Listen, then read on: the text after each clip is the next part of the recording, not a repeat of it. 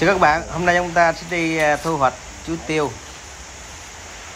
Chuối tiêu là một loại chuối trái nhỏ nhưng mà có vỏ đấy nha. Anh vào. Không ngon là không thèm trồng nha các bạn. chuối tiêu nha Độ ngọt của nó gọi là nhất trong mấy loại chuối á. Ngọt nhất luôn. Bùi nữa, bùi cũng bùi nhất luôn. Có điều trái hơi nhỏ, nhưng mà khi mà trồng đất tốt, trái nó cũng bự, nó dễ trồng. Loại này nó rất ít, gần như là không bị tim. Không bị tim, không có chăm sóc gì hết ạ đây là một buồng chuối tiêu đang à, chín cây. Có hấp dẫn đó với không? Hấp dẫn quá.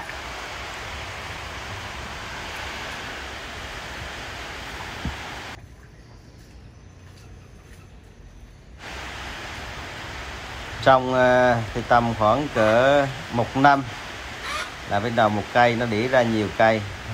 Thành một lùm. Chuối tiêu. Ngon bổ rỉa loại này thì ờ, gần như là không có bán trên thị trường đâu nha.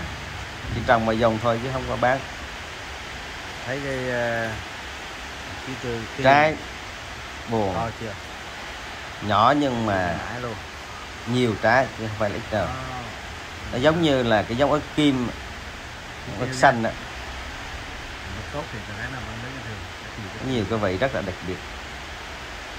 Chỉ mình trồng thôi đây là da.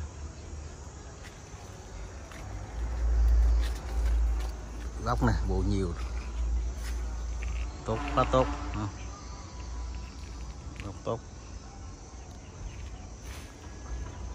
Còn cái khác. nữa.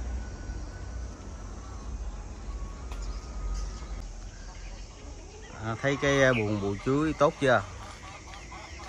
Tốt cao đó. À, tốt này nữa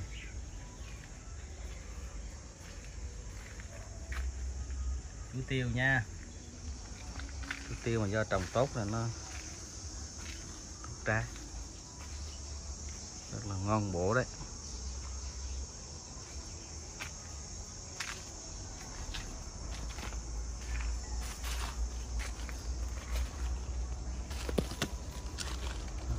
Bên kia. Chuối tiêu nhưng mà do trồng đất tốt, cho nên nó rất là tốt.